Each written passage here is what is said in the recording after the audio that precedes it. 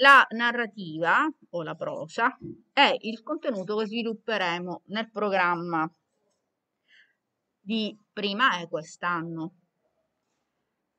Il testo, quando uh, utilizziamo questa parola, la parola testo, immediatamente ci viene in mente qualcosa di scritto, ma la forma attraverso cui il testo può manifestarsi è chiaramente differente. Se io vi dico pensate ad una poesia, contemporaneamente vi dico mettetela a confronto con la pagina di un romanzo che in questo momento state leggendo, immediatamente noterete che una prima, delle, una prima differenza che c'è è proprio quella grafica, quella cioè del, eh, di quello che vediamo. Una poesia ha un contenuto che già graficamente è ridotto nello spazio, mentre il romanzo, la narrativa quindi, ha un contenuto che si sviluppa su tutta la pagina.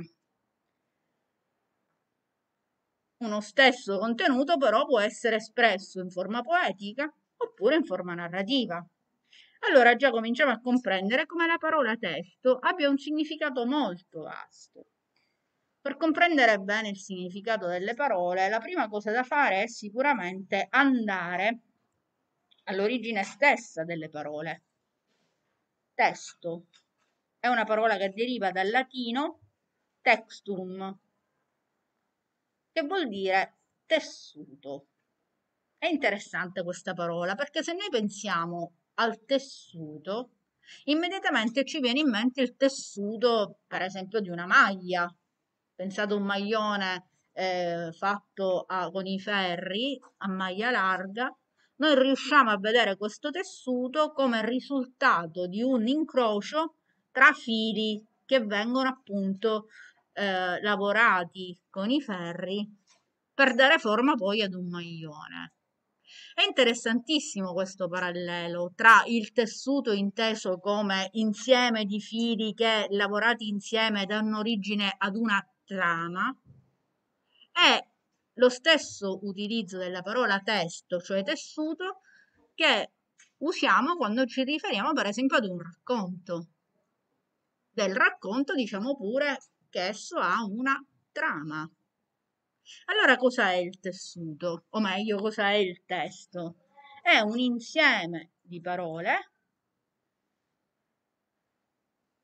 che opportunamente eh, scritte sono dotate di significato, quindi di senso, e hanno al loro interno una coerenza che le rende comprensibili a chi le legge.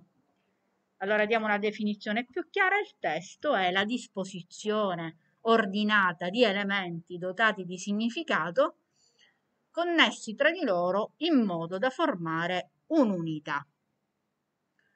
Quindi il testo non è formato soltanto da parole, ma può, per poter essere completo, avere al suo interno anche immagini, suoni. Oggi che viviamo in una realtà multimediale, digitale, chiaramente possiamo dire anche video. Tutto è un testo. La cosa importante è che possieda al suo interno la coerenza, la correttezza chiaramente e quindi l'unità. Cosa vuol dire la coerenza? Vuol dire che quanto è contenuto all'interno del testo deve dare un significato che sia coerente, appunto, cioè che abbia senso se io dico tante parole senza senso, se io sto parlando della natura e come video metto una partita di calcio, non c'è una coerenza. Quindi la coerenza si ha nel momento in cui quello che io sto utilizzando per elaborare un testo ha significato nel momento in cui lo mettiamo insieme. Parliamo di letteratura, parliamo di in particolar modo di italiano, allora andiamo un pochino più a fondo. Quando parliamo di testi in italiano, intendiamo tutto quello che appunto in forma in particolare scritta ha un suo significato. immediatamente però ci vengono in mente, non so, appunto le poesie, i testi teatrali, i testi di un romanzo, ma non necessariamente è così. Quando noi comunichiamo, quando noi diciamo qualcosa, possiamo farlo anche attraverso una cartina. Per esempio, una cartina, la pianta della nostra classe, non è un testo narrativo, ma ci comunica qualcosa. È comunque un testo che contiene al suo interno parole, la leggenda per esempio, ma anche un'immagine, i posti, i banchi così come devono essere collocati. Allora, la cartina è pure un testo, che non è certo un romanzo, ma che ci sta dando delle informazioni. Non solo. Pensiamo per esempio ad, un, ad una legge, ad un regolamento, al codice della strada. Anche quello non è un'opera letteraria, ma comunica coerentemente qualcosa. Più che comunica, o meglio, oltre a comunicare qualcosa, il codice della strada ci dà delle indicazioni precise di comportamento e se noi non le rispettiamo, la prima cosa che succede è che può avvenire un incidente. C'è il segnale del rosso al semaforo, il codice dice che mi devo fermare. Se io non mi fermo, la prima cosa che accade è sicuramente un incidente, poi se non faccio l'incidente, ma c'è il vigile, quello che accade è che mi ferma e mi fa una multa. Perché io non ho rispettato il codice della strada, quindi in quel caso quel particolare tipo di testo non solo mi dice delle informazioni, ma mi obbliga a rispettarle. La stessa cosa è un regolamento di istituto. Allora, pensiamo anche al giornale, quello che leggiamo prima cartaceo, adesso sempre di più sta diventando online. Sono parole anche quelle scritte che hanno un loro significato, che raccontano qualcosa che è accaduto ieri, ora, in questo preciso istante, pensiamo ai giornali online. Quindi anche quelli sono dei testi, sono un insieme di parole che hanno un loro significato interno e che però non mi obbligano a fare qualcosa, non vogliono convincermi, ma vogliono darmi informazioni. Già cominciate a vedere come i testi sostanzialmente possono essere divisi in due grandi categorie. La prima è quella dei testi letterari. La seconda è quella dei testi non letterari. Quando parliamo di testi letterari, allora, cosa vogliamo dire? A cosa vogliamo riferirci? Sicuramente al testo poetico, al testo narrativo e al testo teatrale. Le tre forme attraverso le quali un testo letterario viene manifestato. Gli obiettivi? Sicuramente quello di comunicare qualcosa. Nel caso delle poesie, prevalentemente delle emozioni. Nel testo narrativo, una storia. Nel testo teatrale, una storia raccontata attraverso la sua stessa rappresentazione quando vediamo un testo poetico, un testo narrativo e un testo teatrale messi l'uno accanto all'altro, immediatamente li riconosciamo perché hanno delle caratteristiche specifiche che fanno sì che se vediamo un testo in cui ci sono gli attori, eh, eh, come devono disporsi sul palcoscenico, le battute che devono dire, è evidente immediatamente che si tratta di un testo teatrale. Vi ho dato esempi però anche di altri tipi di testi che non sono letterari, ma che hanno degli scopi. Stiamo parlando dei testi non letterali, er, letterari, detti anche testi pragmatici o uso. Pragmatica significa pragmatico, significa pratico, cioè sono dei testi che utilizziamo nella nostra vita quotidiana per uno scopo. Infatti si dice pure che sono dei testi pragmatici o d'uso che hanno uno scopo. Guardiamoli, i testi per informare.